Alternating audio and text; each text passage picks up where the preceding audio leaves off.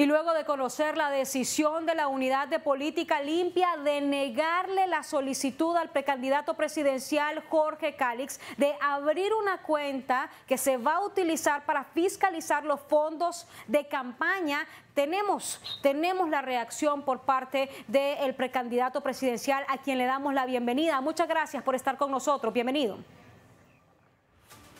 Gracias, Jacqueline. Un placer estar con ustedes aquí hoy mismo. Un saludo a todas las personas que nos están viendo a través de la poderosa señal de PSI a nivel nacional. Mire, nosotros no hemos ido todavía a retirar la certificación de la resolución. Tenemos conocimiento, en efecto, de que la misma ya ha sido emitida. Eso fue lo que nos comunicaron ayer. No conocemos su contenido. Sin embargo, las especulaciones que se dieron ayer por la tarde-noche, sumado a las declaraciones del, comisionado representante del Partido Libre, el abogado Vladimir, nos hace pensar que el Partido Libre se negó a darnos el visto bueno al que hace referencia la ley para, que, para podernos registrar en la, unidad, en la unidad de política limpia y que ellos nos extiendan la autorización necesaria para acudir a, las, a, las, a, los bancos y abrir nuestra cuenta bancaria. ¿El Partido Libre se negó?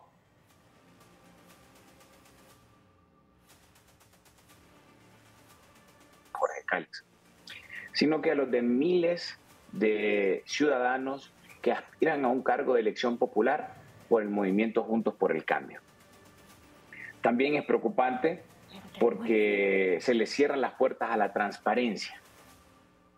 Y eso es grave considerando que hemos tenido en el pasado reciente eh, muchos problemas con fondos del narcotráfico y fondos públicos que financiaron campañas políticas de manera ilegal, por supuesto.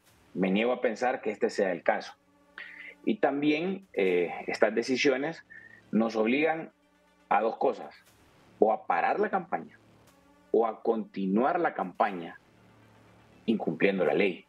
Y esas son las cosas que nosotros tenemos que analizar y precisamente por eso vamos a una reunión el día de mañana con la Coordinación Nacional del Movimiento para tomar decisiones y las acciones a seguir. Eh, repito, no hemos visto el documento, no lo tenemos todavía. En el momento en que lo tengamos en nuestras manos, entonces lo vamos a revisar, lo vamos a analizar y nos vamos a poder pronunciar con propiedad. Lo que hemos dicho hasta ahora únicamente tiene que ver con las declaraciones del comisionado Vladimir, no necesariamente con lo que dice el documento, quiero aclarar eso. Nosotros vamos a, dejarle claro algo al pueblo. Nada nos va a detener. Nos pueden poner las zancadillas que quieran, pero yo les quiero garantizar a todos ustedes, a todos los que quieren un cambio de verdad, que nuestra foto va a aparecer en la papeleta de las elecciones generales en noviembre de 2025. ¿Qué pasa? ¿Por qué no lo están queriendo eh, dejar desde el Partido Libre? ¿Quién es del Partido Libre que se opone a que Jorge Cálix abra una cuenta para hacer lo que realmente es correcto? Bueno, el coordinador del Partido Libre, el representante legal, a quien requirió la unidad de política limpia, es a José Manuel Zelaya Rosales, el expresidente Zelaya. Y no sé qué es lo que él ha respondido, insisto, no he visto el documento, por las declaraciones del comisionado Vladimir y por las reacciones del presidente Zelaya en su Twitter el día de ayer, intuyo que me negaron el visto bueno como movimiento en formación dentro de Libre. Él dice, presidente Zelaya, que consultó a la unidad de política y respondernos ahorita, registrar los movimientos desde ya, los movimientos en formación desde ya en, el, en la unidad de política limpia y que se les pudieran abrir cuentas bancarias desde ya. Y dice que además la unidad de política limpia en pleno le contestó que no se tiene que hacer eso en este momento, sino que hasta en septiembre que se convocan elecciones.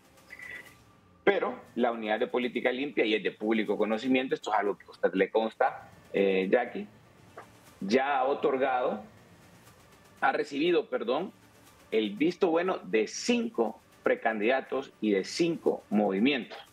Y por ende ha otorgado la autorización para que estos cinco movimientos y estos cinco precandidatos aperturen sus cuentas bancarias y empiecen a ser fiscalizados por la unidad de política limpia. El único que ha solicitado el visto bueno y no ha recibido el visto bueno ha sido Jorge Cálix. Y debo decir otra cosa. Nosotros, nuestro movimiento, fue el primer movimiento de todos los partidos políticos que públicamente solicitó a la autoridad partidaria su visto bueno. Y el presidente Zelaya se llamó al silencio. En dos ocasiones lo hicimos, se llamó al silencio.